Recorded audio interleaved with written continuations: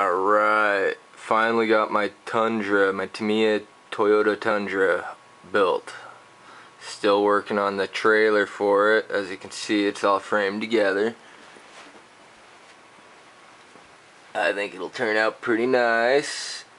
Gonna put a winch up there.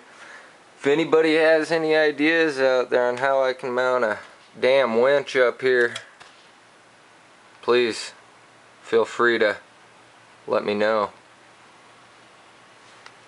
But as you can see, all I have left to do on the trailer is make the hinges for the ramps, put put some things in the ramps and weld it all together. Got the axles built. Yeah, can't wait. There's the body for the Tundra. I think it'll be pretty nice, I don't know.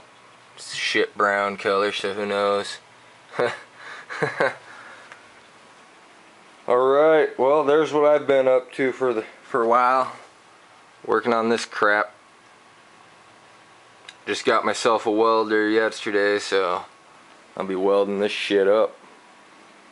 Yeah.